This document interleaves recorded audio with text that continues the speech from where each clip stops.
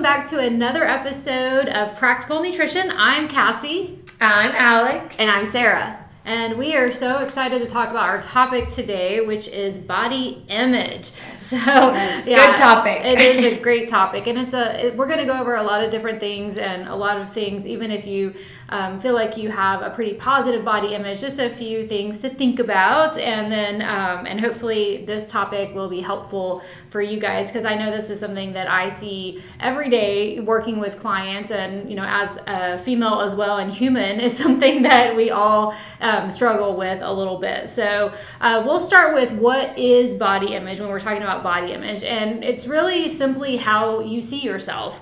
Um, it's affected by memories, by generalizations, assumptions, and comparisons to standards that are set by society and culture. So, in one society or one type of culture, there may be different standards than other types of cultures. Um, negative body image, which we'll talk about today, is something that where you may feel self conscious or ashamed of your body compared to those standards that are set somewhere in your life experience. And those can be external from something outside of yourself, or they can also be internal. Um, so, something that you set, a standard that you set yourself.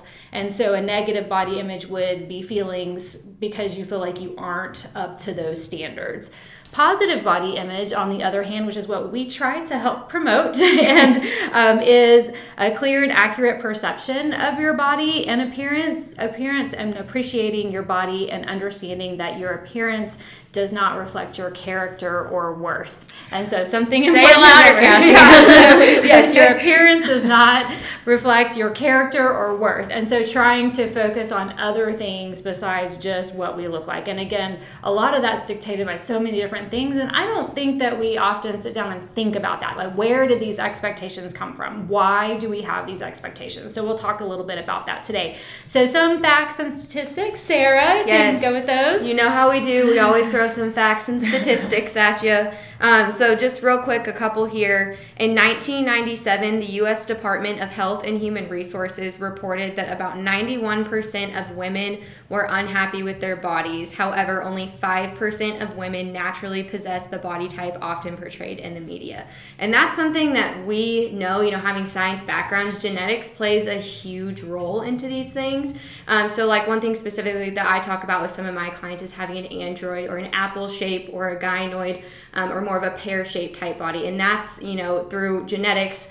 Um, you know, people who do gymnastics don't necessarily possess the same body type as people who swim. And so understanding that there's differences is important. And so I think that's why um, this percentage is the way that it is because a lot of people don't know that. Um, but of course, we'll talk about that more today. And another one, just like speed, athletic ability, IQ, or other genetic traits that can be improved, our body shape, ease of building muscle, and ability to burn or store fat is somewhat limited by those genetics that we just discussed. Um, so you can certainly significantly improve improve on these, but that only takes you so far. And so being able to sit there with yourself and accept and own and love that body that you're sitting in, and knowing that you can only achieve the best that you can achieve because genetics is a limiting factor is important important. It is. I mean, it is important. And in 2016, a study conducted by Dove and over 10,000 females found that only 4% felt that they were beautiful. Oh, that's so sad. That just makes my heart hurt so yeah. much. Yeah. And you know, we, we're talking about females, but then also men ex- can experience this too. It's not just limited to females, but men also struggle with body dissatisfaction and negative body image. So they have the same potential effects from that negative body image that we were talking about. And we're going to go into body dysmorphic disorder. Um, and this affects 1.7 to 2.9% of our population, which doesn't seem like very much, but that's about 1 in 50 people. And we've seen, I'm sure we've all seen this at least at some point in our careers as being dietitians. And we're going to shorten it to BDD. BDD is, a char- is characterized by an excessive concern about one or more perceived defects in one's appearance in a way that negatively affects quality of life. So it's something that you're thinking about constantly that you can't get past, um, that affects your day to day life. It's something that you just can't stop thinking about. That's kind of what we're talking about with BDD.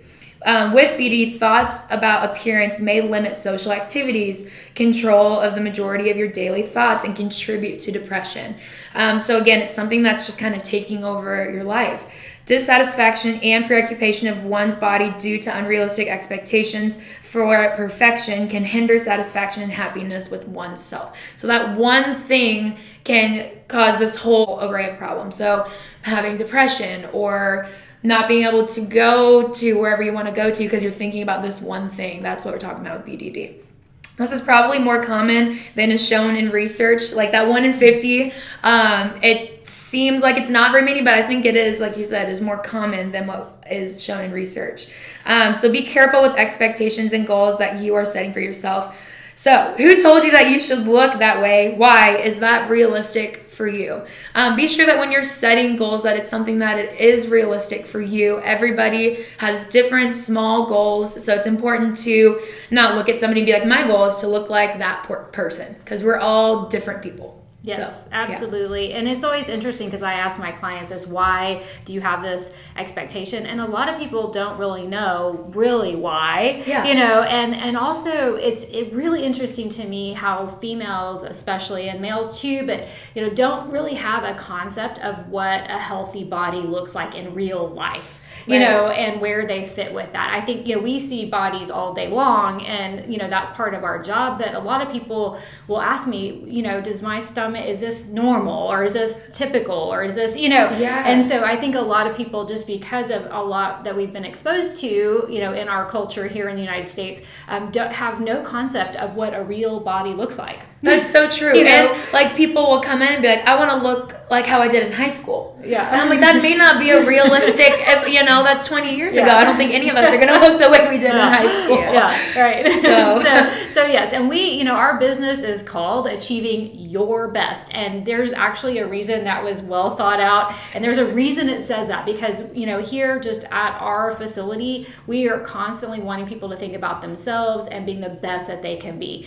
And that may look different day to day. That may look different year to year, like you said, Alex. It, but it is always focused on your best, not compared to other people, whether that's your training or your fitness or what you look like or anything like that. Yeah, and your best at that present time, not your yes. best 20 years right. ago.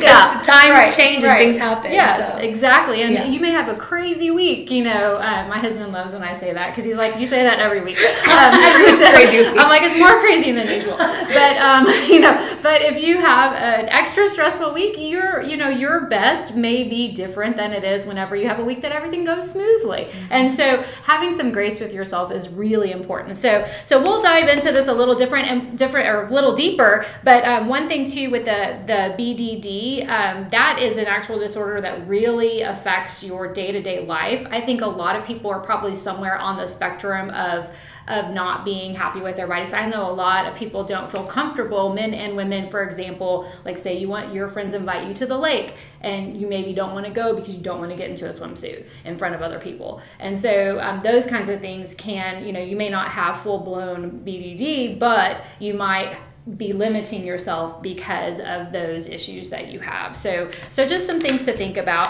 Um, I think a lot of people, when they get to be 90s and 100 year old, they don't go look back and say, "I wish I had not gone and gotten in a swimsuit in front of people." I think they would say, "I wish I had gone and just been happy and enjoyed life and yeah. not cared so much." Absolutely. You know. Yeah. So, um, okay, so let's talk about some potential causes of negative body image. Um, top, the top and foremost one is that that we see as media, and this is something. Um, again, it's not a simple fix, but um, but when you look at advertisements, you look at commercials, you look at written advertisements, Thinness in, in women and muscularity in men is associated in those advertisements with success and happiness. So they show happy people that are thin and fit. And so automatically you're like, I need to look like that in order to be happy and successful. And so, and that's something that, you know, you're constantly inundated with from a very young age. Also, fashion and models, they promote thinness and dictate which body type is popular or desirable at any given moment. And it's crazy when I looked back at some of the history of this this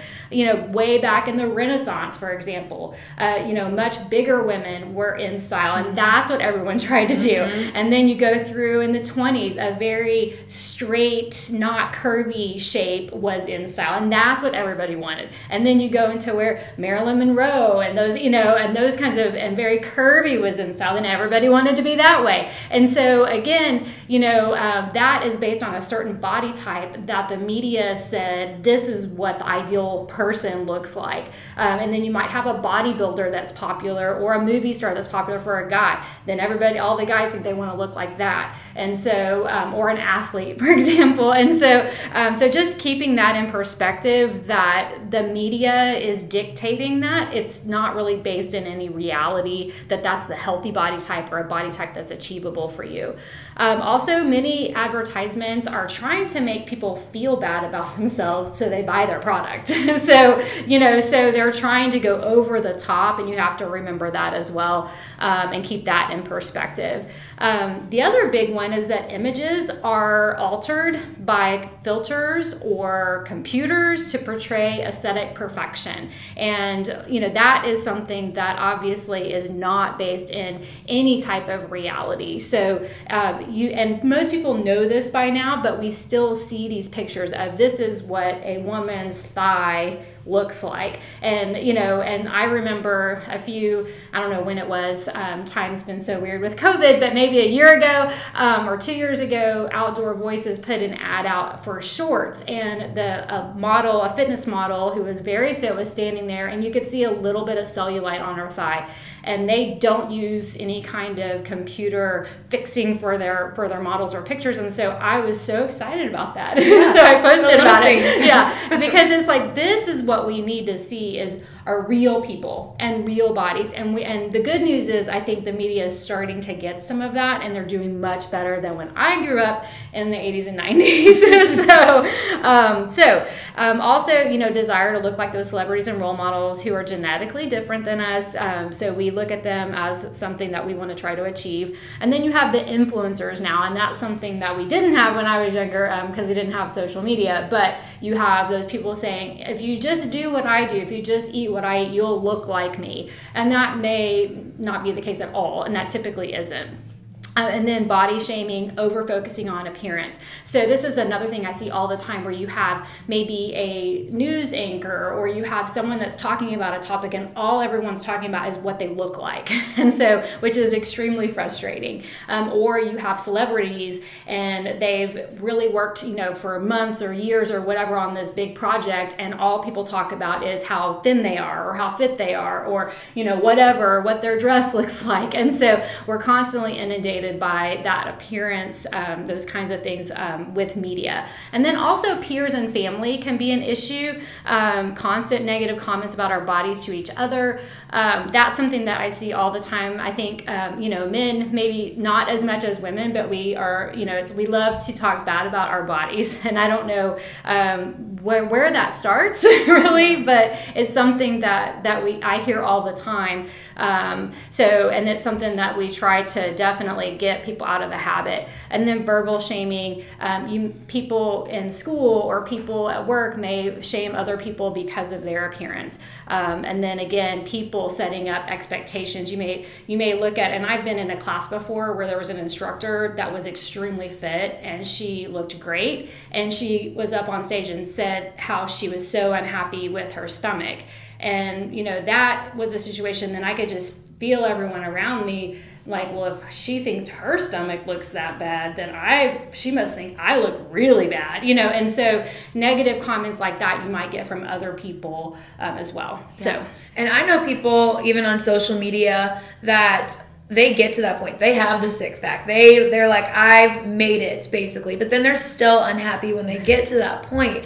And sometimes they do it through doing like very like fad diets and unrealistic ways to get there and then they're just unhappy overall. Or they're like 5% body fat and not eating anything and not having a cycle and those types yeah. of things. Yeah. So if even if you see those people sometimes they're also unhappy, even if they are the ideal image that the that social media is portraying. Yeah, and it's just not reality, right? Because you don't know what their life is like, what they've given up, what you know, um, you know, all of those things. You just don't really know what their situation is. We just see these glimpses of it. So, um, yes. So those are some potential causes. Now let's talk a little bit about potential risks with Sarah. Right. negative body image. And this is where our intervention kind of comes into because we love to work with clients to help improve their body image. We're trained on that. We want to see you guys achieve, you know, your best, like we talked about before, and understanding what these risks, how they show themselves in you. It's going to be different for everyone, but these are just a few things um, that we typically see or that you know what research shows typically happens. So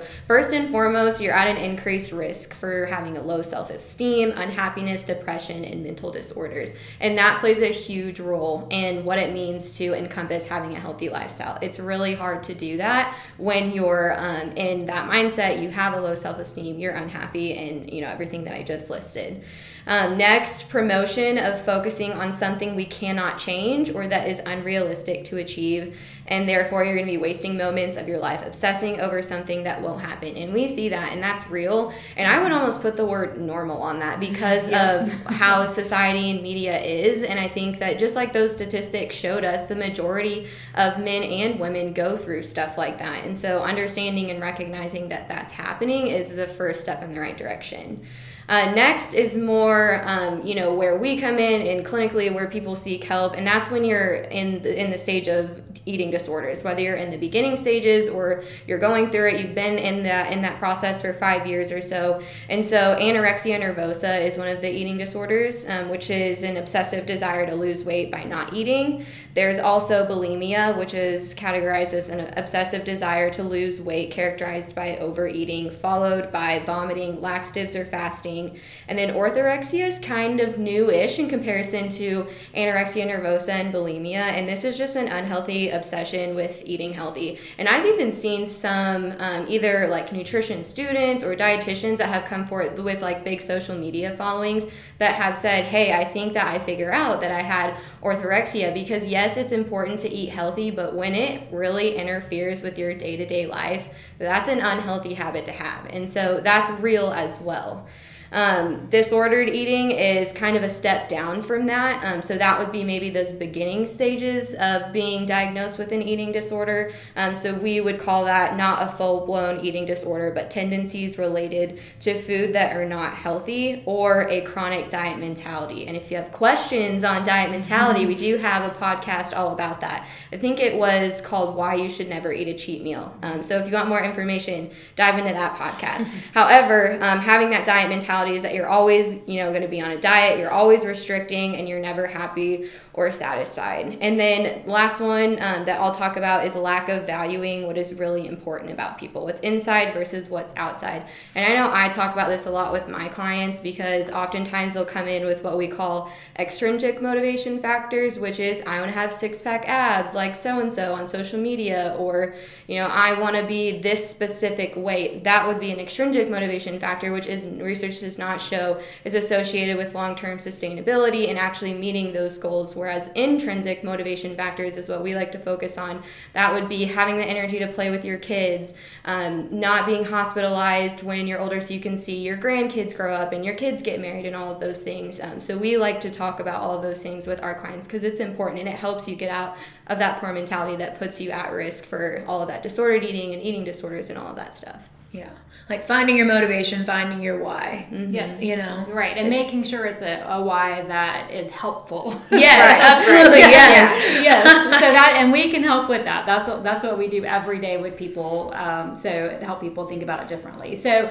so what can we do? What can we do? Oh my so gosh. recommendations with this? Good question. So, support the use of models and advertisements portraying real people, people that aren't altered, people that have the cellulite, normal, just regular things that you see women and you're like, they're beautiful, they're healthy, um, not people that have all the fake stuff done to them or that have been computerized and all that stuff. Um, they include all different shapes, sizes, ages, races, we're all about inclusiveness and making sure that we see real people, real men, real women in advertisements. And people that do a great job of that marketing campaigns include Aerie, Dove, Outdoor Voices, Old Navy, Target, and those, I mean, swimsuits for all, Girlfriend Collective. There's a ton more out there. It's becoming more popular, yep. which is super exciting. And I also know of models that are refused to be altered in any way by their pictures and they're saying I don't want to be altered. So I think that's pretty cool too from the flip side. And then keep what you can realistically achieve in perspective. Everyone is different, and that is such a good thing. If we were all the same, what would life be? you know, it would be boring. so boring. um, everybody's completely different. Your body will never look the same as somebody else's. We could all eat the same exact thing, do the same exact workout, and we will not look the same. So it's important to keep that into perspective and set goals for yourself that are healthy and that you feel like you can achieve. Um, we want you to focus on you and what you can do do each day to be healthy and feel good about yourself. Control what you can control eating, exercise, getting good sleep, stress management, also being social, hanging out with your family, all that kind of stuff. Not in COVID times, wear your mask if you need to. but all that stuff is super important. Um, and then whenever you are focusing on you, do what you can each day. And if you have a goal to look like someone else, is that really the best goal for you? Is that truly your best? So if your goal is to look like somebody on social media? Is that a good use of your time and how you want to portray yourself as being healthy? Yeah. Great. So yeah, yeah, so it's it just you need to think about yourself and what you can do each day. And we, you know, one thing we try to do as well with, as dietitians is, you know, we have a lot of people that have these, you know, their goal is to get to a certain body fat percent or whatever. And we talk about those goals, you know, just to have data um, to see how they're doing. But really, we like for people to focus focus on the habits that will get them closer to that because if you you know you can get to a certain size or you can get to a certain weight in tons of different ways but if you are doing it just for to get to that size then what are you going to do you know when you get there or is that even a realistic goal so you're going to go through your whole life chasing after something you can't even do. And so, um, so really be careful with your goals and think about little things, little steps that you can do every day to get you to a healthier place. Um, so, you know, and then also a big one is talk to yourself about your body in a positive way. And this is really difficult. It seems easy, but it is very difficult. If you would not say it, a good general rule I like to think is if you wouldn't say it to your friend or your family, then don't t- say it to yourself. And I think we're our worst critic. You know, we see that all the time. Whereas you have people that are very fit, and, you know, other people might say, man, I would love to look like that. And they're telling us, I hate this XYZ part about my body, or this is, you know, or I'm so fat, or my thighs are big, or whatever, you know, um, anything like that is a negative comment. Um, so don't shame your body and don't shame other people. So if you're in a group of friends, don't say, oh my gosh, look at her. Why is she wearing that outfit? She shouldn't be wearing that. You know, those kinds of things. Um, we're promoting that negative self esteem and negative talk because, again, you don't know how that's going to impact the people you're talking to to. Even if that other person can't hear you, you may be t- saying something that's going to hit a nerve with your friend and say, well, if she thinks that this person looks this way or thinks this about them, what do they think about me? And so you may be inadvertently contributing to their negative body image by talking about someone else, even if they don't hear it.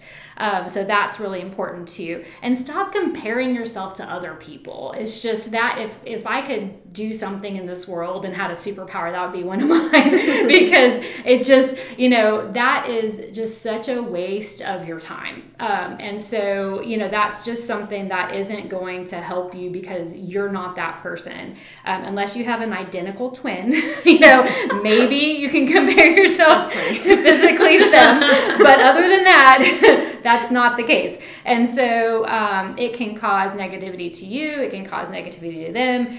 Because um, again, automatically, women especially because i you know and i'm a female so i hear all this all the time guys may have these same conversations but you may say oh my gosh i wish i had your arms and then the other person might say they just to try to make you feel better then they're going to make a negative comment about them well look at your legs i wish i had your legs and so it kind of gets into this big comparison thing that isn't helpful for anyone and And so, um, so it's not a good road to go down.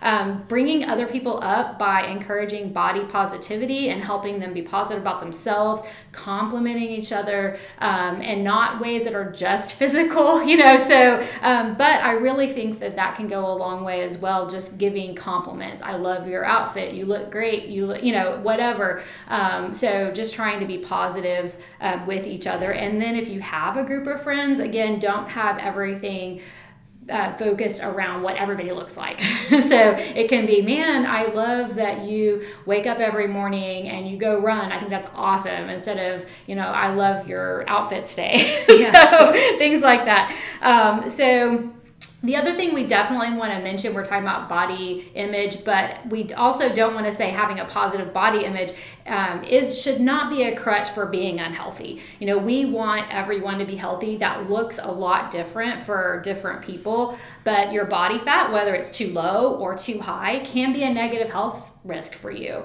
And it can put you at a higher risk for diseases in a lot of different ways. So we're not saying you know just regardless of where you are you don't need to work on getting healthier. That's not what we're saying. We want you to love yourself the whole way um, but also work on being as healthy as you can be. Um, so focusing on being at a healthy weight um, for you it's something we do endorse and we do measurements and we do look at that. But again those are data points. And whether your weight goes up a little or your body fat goes up a little we really work with trying to help people understand that that's not necessarily a negative thing that's data you know so and as everyone knows whenever you face challenges that's often when you can make improvements. And so a lot of people have this perfection you know you're here and you want to get here for your body fat percent um, you know, you're high up here, you want to go down, and it's not always a straight line down. There's going to be bumps, there's going to be things, and those bumps teach you things, you know, and so, um, so those things are good. You know, I love it when I see, you know, think crazy things on people's food diaries so we can talk about them, or if their weight maybe, you know, changes a little in a direction that isn't where they want to go. I use those as opportunities to teach people that that's okay, and life isn't perfect, we're not perfect, and so, um, but we do want you to be healthy. And so, um, but while having a body, positive body image and setting realistic goals for you without dieting, we don't endorse dieting. Um, we endorse healthy eating, healthy lifestyle. Yeah, that was awesome. Um, just to kind of wrap it up, and I want everyone to grab a pen and a paper and write this down. Please be as much of a role model as you can, or someone who um, endorses positive body image, especially when you're in an active setting or when you know in a gym or you're you know that there's people around you that don't possess you know having a positive body image that is a great opportunity for you to grow in your own confidence in yourself and helping other people do that um, it's the gym and you know other places where you know someone's uncomfortable is not a place for you to be like oh my gosh like look at her form that's terrible oh my gosh why did she wear those leggings um, again we're women we don't really know what you men talk about but oh my gosh why is he wearing his shorts are so short you know just just be just be be aware of what you're saying because it does affect people and you never know what that one comment will do. Um, you know, embrace the sweatpants, no makeup style when you go to the grocery store. Be you, be real. Um, we want you to feel confident here. We want you to feel confident when you're not here. Um, and, and do whatever you need to do, whether that's take advice that we're telling you go seek a professional um, try and find your own coping mechanisms. But there is a light at the other side of the tunnel. And lastly just give yourself grace. No one feels great about themselves 100% of the time. Keep working on staying positive and loving yourself for who you are and I think that is a great way to end it. yes, it is. Yes, it is. And if I mean, if you're unsure of where to start, we offer free nutrition consults, so you can talk us through kind of where you're at. We can help you set small goals, realistic goals, and help you find your motivation. So yeah, absolutely. So well, this has been super fun to talk about because it's just something we see every single day. And if you're struggling with this, you are not alone. And so, um, and again, you know, just giving yourself some grace. But if you're spending a lot of your time being unhappy because of your appearance, um, then this is a good time to think about that and think about life. And you know, we only have one life, so we don't want to waste it on focusing on something that maybe is unrealistic or isn't going to help you get to a healthy place. So thank you, and we are excited to have you with us today. We will see you next time, thank and, you. or talk to you next time. so for those of you not on YouTube, and um, thank you very much. Have a good rest of your day. Thank you.